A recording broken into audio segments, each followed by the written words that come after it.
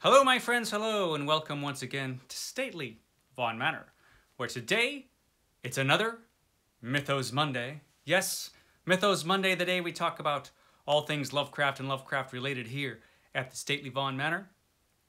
And today we're going to be talking about this book.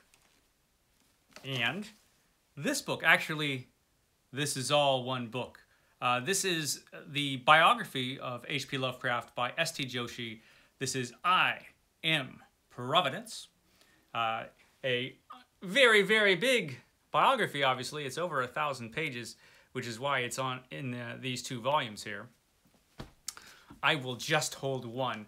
Uh, this biography is a version of a biography that S.T. Joshi, the famous Lovecraft scholar S.T. Joshi, it's a version of the biography that he wrote uh, that was released before under the title, I believe it was Lovecraft A Life. I'm pretty sure that's what it was called. There have been a couple different versions of this. There was a, a, a much shorter version, there was Lovecraft A Life, and this, the two-volume set I Am Providence. Now the two-volume set is the whole thing. The earlier version was the cut version. This is a very, very long biography. S.T. Joshi really, really is the best person to do a biography of Lovecraft. S.T. Joshi knows more about Lovecraft than probably anybody else in the world ever has. He's read everything Lovecraft wrote. He's read every letter that Lovecraft wrote. And Lovecraft wrote a lot of letters. I mean, just an incredible amount of letters. And that's why we know so much about Lovecraft there is a lot of information about this guy. I sometimes think that people have a lot of erroneous assumptions about H.P. Lovecraft. One of those assumptions being that he was sort of this mysterious character, uh, this aloof, mysterious character that maybe we didn't know a heck of a lot about. We know just about everything about H.P. Lovecraft because he was so forthcoming. Uh, he actually had a lot of friends, H.P. Lovecraft.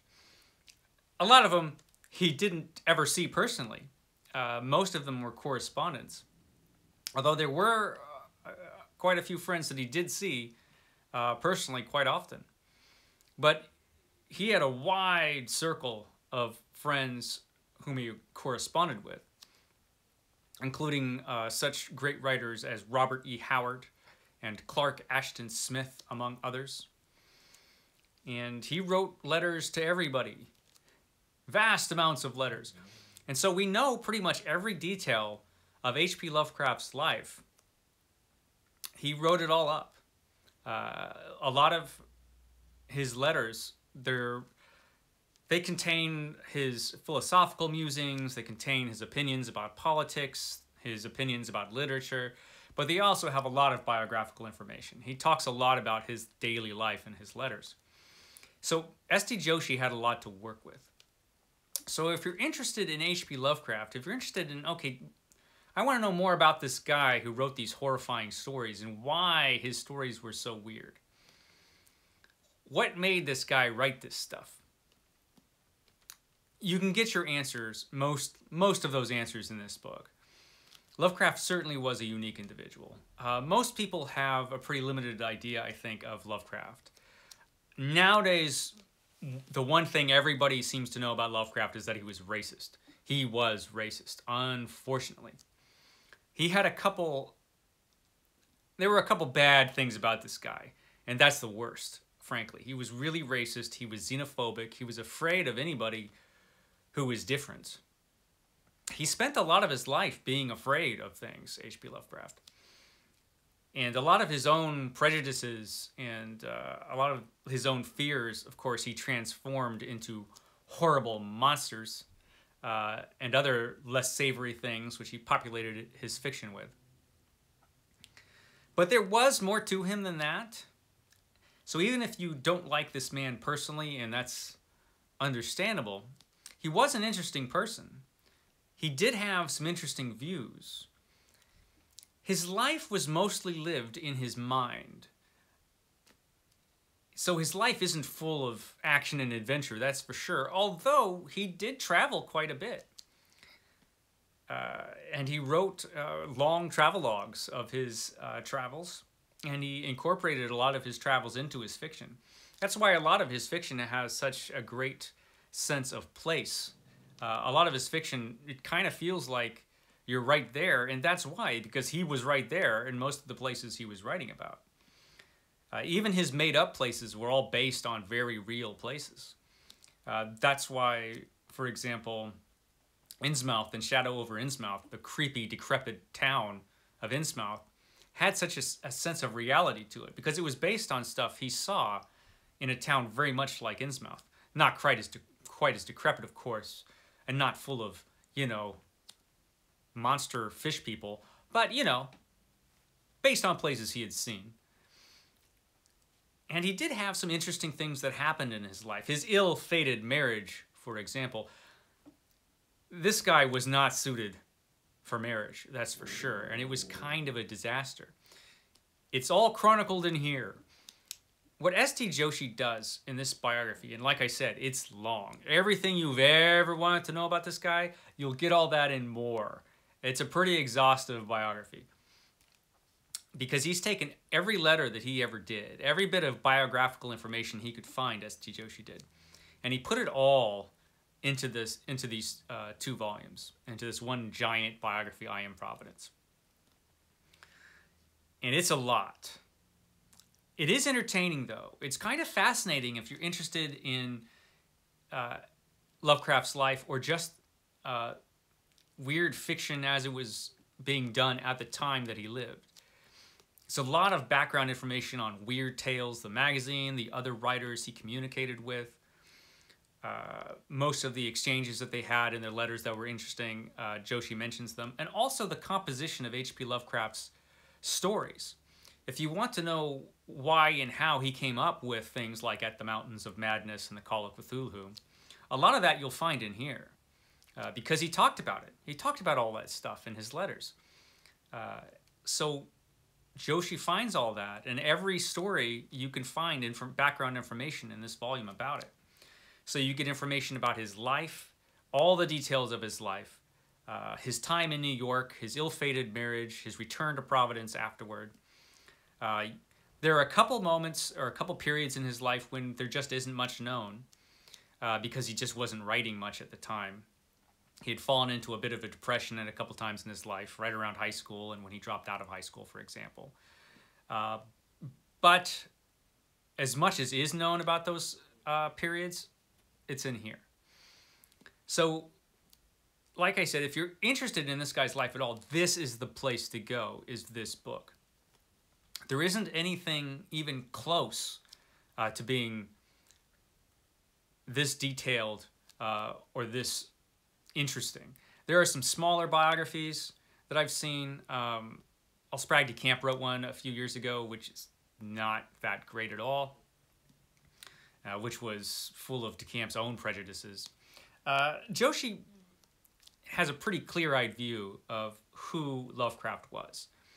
Joshi admires a lot of things about Lovecraft, but he can see very clearly all the things that weren't right about this guy. Uh, he doesn't.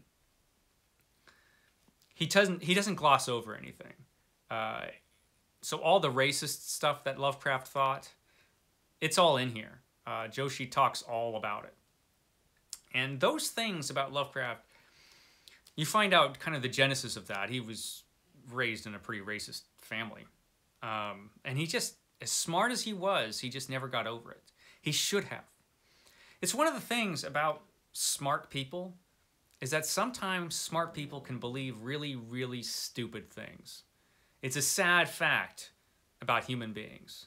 Uh, sometimes when you get your mind set on something, especially if it makes you feel, say, superior to others. It's hard changing a person's mind. And that was unfortunately true about this guy. There are signs that he softened up on stuff like that towards the end of his life, but we have no real evidence that he actually did, sadly. A lot of his political political views did change though quite a bit. He was pretty hardcore conservative when he was younger. But as he got older, uh, those views flipped, uh, particularly during the Depression. And some of the most poignant moments uh, in this book have to do with his struggles uh, in poverty, because this guy was broke. His family started off well off, uh, but they had lost all their money. His father ended up in an insane asylum. His mom also ended up eventually in an asylum. They bo both his parents died in the same asylum. So he had some issues, this guy, as you can imagine. And then the depression hit and made everything worse. All his economic struggles, uh, which led to, for example, his miserable diet uh, and how he was pretty much nearly starving uh, towards the end of his life. That's all in here. Uh, the really kind of horrific details of his sad death uh, from cancer is in here. That was a rough way to go uh, for this guy. Yeah, that makes difficult reading, but it's all in here. Anything you ever want to know, it's in this biography. Now this, I got the two volume hardcover set from Hippocampus Press, which was published in 2010. Pretty pricey. There were paperback editions of this, I believe. But probably the most economic and easiest way you can get this is uh, as an ebook. It's available as an ebook for cheap, I believe. I don't think it's that expensive. At least it wasn't when I got it. I know it's still available. I checked. So if you are interested in this book or interested in Lovecraft's life, I am Providence. This is the one place you need to go. You really don't need to go to any other biographies after this one. Um, this is the one to get and to read if you're interested. So yeah, I Am Providence by S.T. Joshi, the preeminent H.P. Lovecraft scholar. So that's your Mythos Monday for today. Catch me tomorrow. I have a tag that I'll be doing. On Wednesday, it's my Epic Comic Book Wednesday. On Thursday, I think I've got a bit of an unwrapping, got some packages in. Also got a, a, couple of announcements, channel announcements of some things I've got coming. Yeah, I've got even more stuff coming. You know, this little brain that's always going. Uh, so there's that, and then I'm going to have, hopefully this week, uh, a, a uh, review of Rebecca by Daphne du Maurier. Fantastic book, I just finished it. So I'll be talking about that one. Okay, guys, I will catch you here next time.